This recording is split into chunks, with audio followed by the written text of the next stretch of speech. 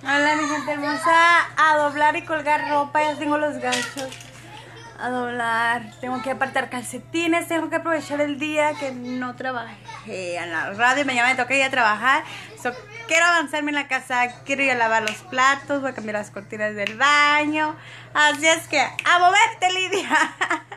Bueno, ya desayunamos, desayunamos huevos con tomate y cebolla y un poquito de queso con un chile serrano.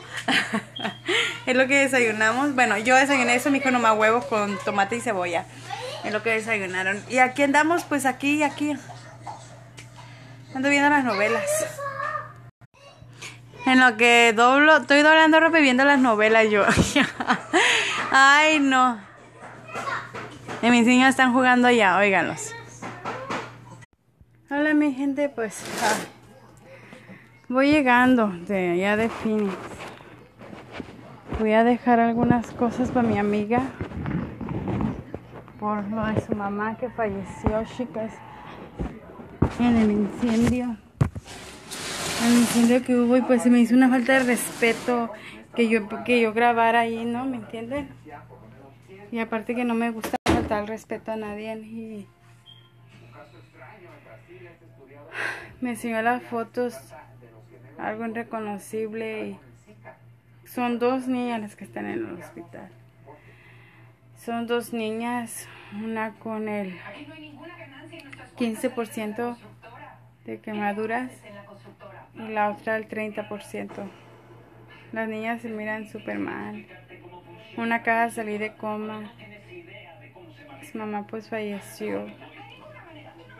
No se conocía nada de ella, nada de su rostro. Sus hijas de ella, las más grandes. Bueno, no la más grande. La más grande y la chiquita están bien mal también. Es la pérdida de la de la mamá, imagínense. Sí todo está muy feo.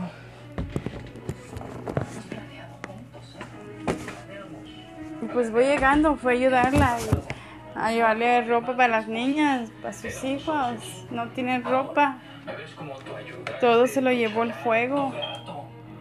Luego lo más feo es que piensan que el fuego empezó en la puerta principal. Las encerró el juego. El... La señora miró el fuego y corrió. Pasó sobre el fuego, pasó sobre las llamaradas, pasó, agarró a las niñas, la apagó a la niña con, algo, con un trapo, la apagó y la aventó por la ventana. Y luego corrió otra vez al fuego y miró a la otra niña que estaba más quemada y la agarró y la apagó. Y ella quemándose la espalda y así aventó a la niña por la ventana. Y el último se aventó ella y se lastimó la cabeza. Y pues ya iba grave al hospital. Y aparte también de que ella empezó a respirar bien, pero poquito a poquito empezó a bajar el pulso, el pulso y en cuanto ella falleció, la abuelita falleció, la mamá de mi amiga falleció, la niña que estaba en coma volvió a vida. Que los doctores están sorprendidos porque no pensaban que la niña iba a lograrlo. Es, es una situación bien fuerte, amigas. Es algo que no sé, no se lo desea a nadie ni parece que el incendio fue provocado. Y fue provocado fue causa de unos cables que hicieron corto. Todo, la llamada empezó a la una de la mañana. Y ellos estaban despiertos porque estaba el abuelito ahí con ella. Sí, se acababa de ir el abuelito. Y pues así pasó. Así pasó y pues no quise grabar cuando estaba allá porque no quiero faltarle el respeto. Están en dolor. Tienen un fuerte dolor y uno tiene que respetar.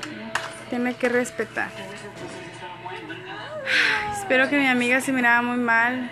Espero que Dios le dé valor y que la ayude mucho a Dios. Dios es grande yo sé que Él le va a ayudar y le va a dar esa fortaleza por sus niños. Está bien duro. Me enseñó las fotos y